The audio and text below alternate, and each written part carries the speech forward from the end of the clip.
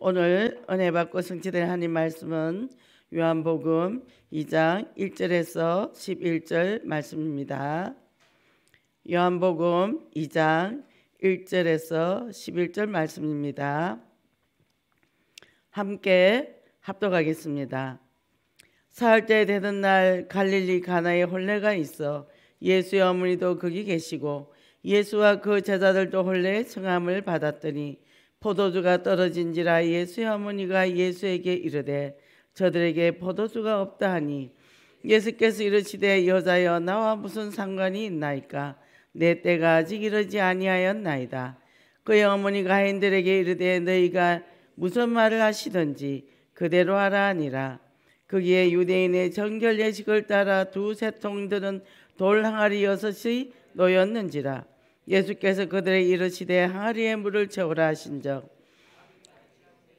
이제는 떠서 연회장에 갖다 주라 하심에 갖다 주었더니 연회장은 물로 된 포도주를 맛보고 어디서 났는지 알지 못하되 물떠온 하인들은 알더라.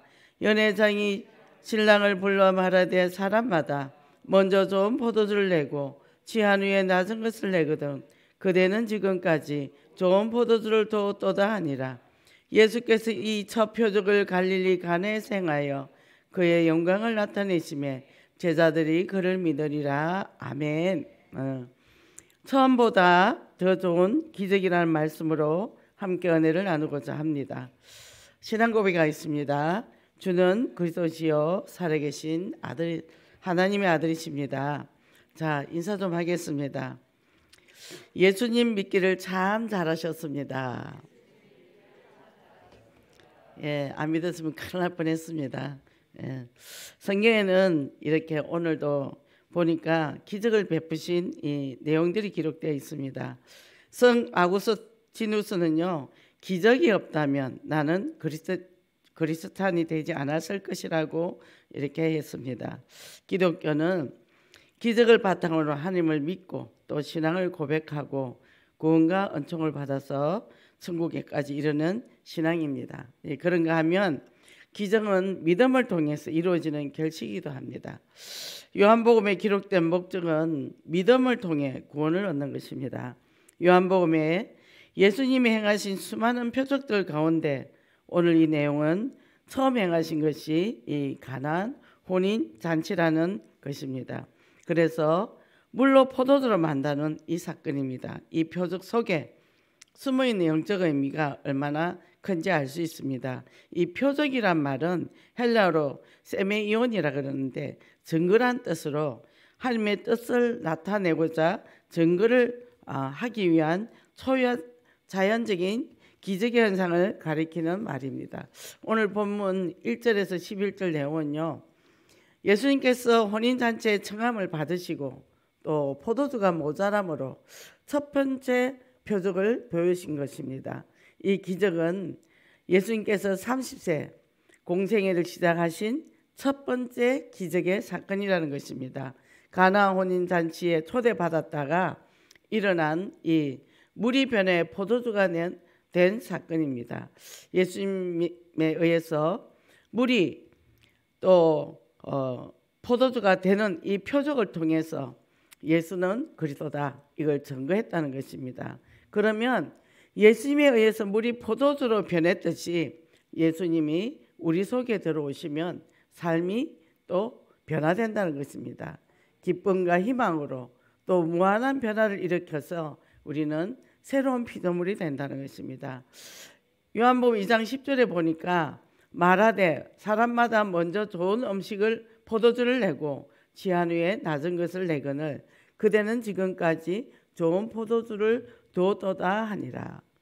물이 변해 포도주가 되었다는 것은 가치 없는 이 물이 또 정말 아무것도 의미가 없는 것이 그 속에서 하나님의 기적의 역사가 일어나면 포도주가 된다는 것입니다.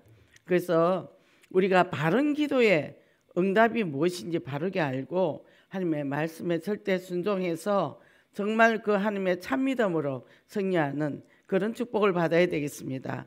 어떠한 절박한 상황이나 어려움 가운데 있다 할지라도 예수님의 말씀하심에 절대 순종하는 참 믿음이 있어야 됩니다. 그래서 언제나 우리가 강단 말씀에 내 인생의 절대 목표가 무엇인지 그리고 내가 예수께 붙잡힌 바 된 삶으로 또 부름의 상을 향해서 언약 도전을 해야 합니다. 그러므로 만국을 기업으로 얻게, 하라는 이 원단 말씀 성취의 축복을 누리시기를 예수 그리스도 이름으로 축복합니다. 첫째, 포도주가 떨어진 혼인 잔치입니다. 자, 사흘 때 되던 날 갈릴리 간에 혼례가 있어서 예수의 어머니도 거기 계시고 예수와 제자들도 그 혼례에 청함을 받았더니 그랬습니다. 예수께서 갈릴리에 도착하셔서 빌립에 이어서 나다나데 나다나엘의 제자를 삼으신 때로부터 사흘 때 되는 날에 예수님의 공생의 초기에 이 어, 결혼 잔치에 베풀린 가나라는 곳에 가게 됐습니다. 그곳에는 예수님의 고향인 나사렛 마을로부터 한 6km 떨어진 그런 어, 가브나움 배사들을 통해서 디바락 가도에 가 있었던 작은 마을이었다고 합니다. 하루는 갈릴리 가나라는 마을에 혼인 잔치가 있어서 이제 가게 됐는데 예수님의 어머니도 또 같이 계셨다는 것입니다. 예수님과 제자들도 혼인 잔치에 초청을 받았다는 것입니다. 그런데 예수님이 채청한 그 날에 이런 문제가 생겼다는 것입니다. 그러면 이 문제가 있을 때 예수님이 계심으로 그것이 어, 답이 되고 해결이 된다는 것입니다. 예수님을 우리 삶에도 초청하고 함께 한다면 우리 문제를 해결받고 부족함이 없는 삶을 살 수 있습니다. 3절에 보겠습니다. 포도주가 떨어진지라 예수의 어머니가 예수에게 이르되 저들에게 포도주가 없다 하니 혼인 잔치에 포도주가 떨어졌습니다. 이 사실에 대해서 예수님이 예수님의 어머니 마리아가 예수님에게 말을 합니다. 그랬더니 예수님의 어머니는 무슨 생각을 했냐면 그 당시 예수님이 기적을 일으키지 않았지만 이 기적을 일으키는 정말 선지자요 제사의 왕이신 것을 알게 알고 있었다는 겁니다. 그래서 포도주가 떨어진 이 가정 지금 우리 모든 어, 현재 여러 가지 문제 사건이 많습니다. 우리가 인생의 계획대로 되지 않고 여러 가지 어려운 때에 실망하고 낙심하고 당황하는 인생들이 너무나 많습니다. 그러면 거기서 어떤 기쁨이 있겠습니까? 예수 그리스도가 함께 하셔야 기쁨이 있다는 것입니다. 그래서 가나온인 집에 또 포도주가 떨어졌지만 하나님의 도우심만을 구할 수밖에 없는 그런 상황에서 기적이 일어난다는 것입니다. 우리도 이런 문제가 없으면 기적을 체험할 기회가 없다는 것입니다. 그래서 문제와 사건은 축복의 문이라는 것입니다. 프랑스 신학자 칼빈은 내가 부족할 때 주님께서 나의 필요를 채워 주신다라고 말했습니다. 올바른 신앙을 가지려면 먼저 모자라는 것, 내가 연약한 것을 깨닫고 하나님 앞에 부족함을 강구해야 됩니다.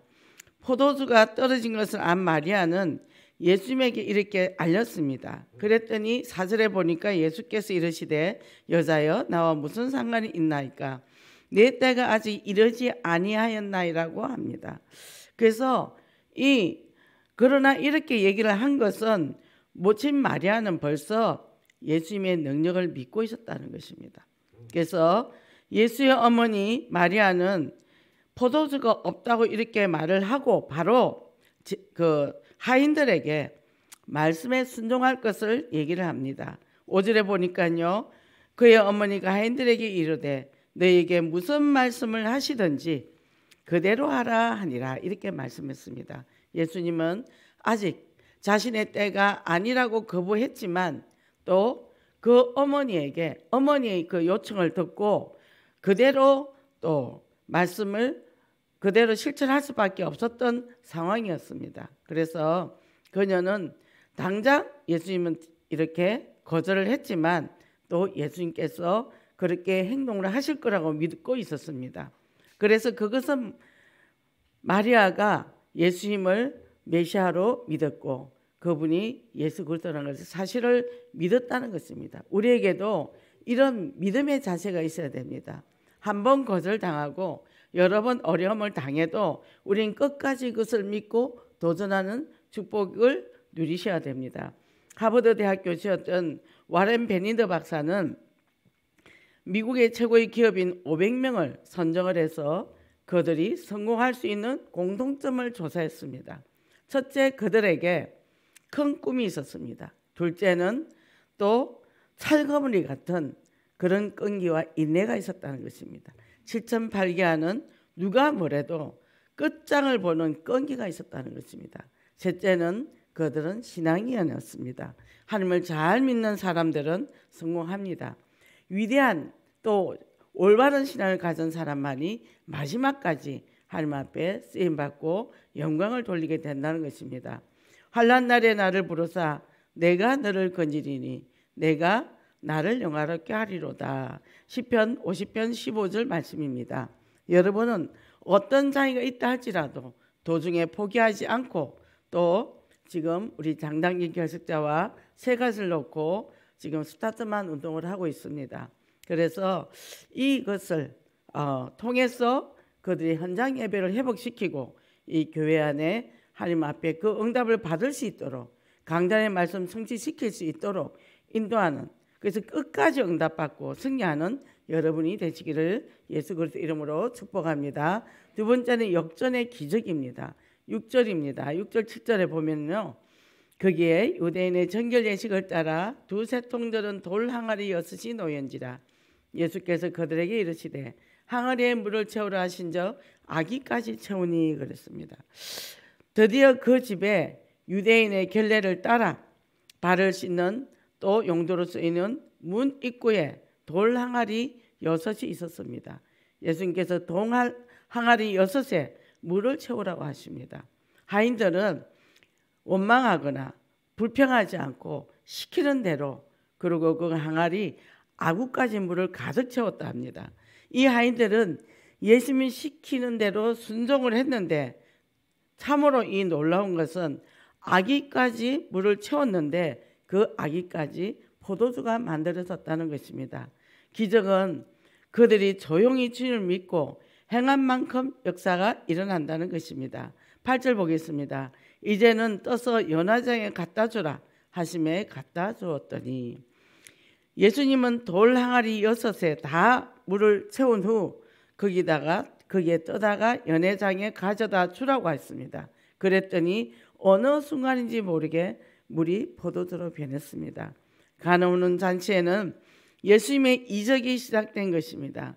그 물은 세상의 포도주로 변했습니다. 이것이 물로 포도주를 만드신 기적은 공생애에서 예수님의 공생이 제일 처음 일어난 기적입니다. 학과 믿음을 가지고 순종하는 사람은 하나님 앞으로 큰 축복을 받을 사람이요 능력을 받을 사람입니다. 구약에 나오는 아브라함이나 모세나 다윗 같은 인물은 하나님께서 사용하신 사람입니다. 하나님께서 축복하신 사람입니다.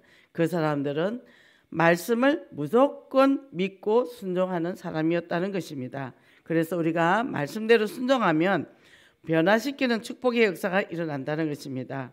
유대사에서는 아이가 태어나면 포도주를 담는답니다.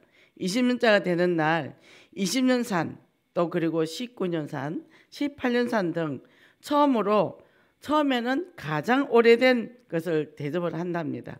그런데 모두 취해서 제대로 이 맛을 분별할 수 없을 때 걸레에 담은 맛없는 것을 내놓는답니다. 그런데 연회장에 하인들이 가져온 포도주를 마시고 그 연회장은 깜짝 놀랐습니다. 9절에 보겠습니다. 9절 10절에 연회장은 물로 된 포도주를 맛보고도 어디서 났는지 알지 못하되 물돈 하인들은 알더라. 연회장이 신랑을 불러 말하되 사람마다 먼저 좋은 포도주를 내고 치환위에 낮은 것을 내거든 그대는 지금까지 좋은 포도주를 두었도다 아니라 이전보다 더 좋은 포도주를 가져온 것을 보고 놀라워서 칭찬을 하는 것입니다. 말씀의 위력은 대단합니다. 예수님은 물로 포도주로 만들었습니다. 말씀대로 순종하는 중에 응답해 주신다는 것입니다. 예로부터 사람은 죽을 때까지 자기 버릇을 고칠, 고칠 수 없다고들 합니다. 그래서 천성이 변한다는 것은 거의 불가능하다고들 말을 했습니다.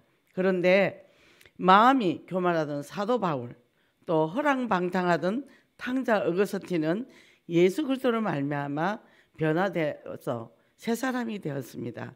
예수의 복음이 들어가면 가루 속의 누룩과 같이 인격과 석관과 생각과 삶이 변화된다는 것입니다. 11절 보겠습니다. 예수께서 이 첫 표적을 갈릴리 가나에서 행하여 그의 영광을 나타내심에 제자들이 그를 믿으리라. 예수님이 오셔서 처음으로 행하신 이 표적은 가난 혼인 잔치에서 물을 포도주로 만든 사건이며 이 표적을 보여주신 목적은 제자들이 예수님을 믿게 하려는 것이라고 했습니다. 축복의 근이 되시는 하나님입니다.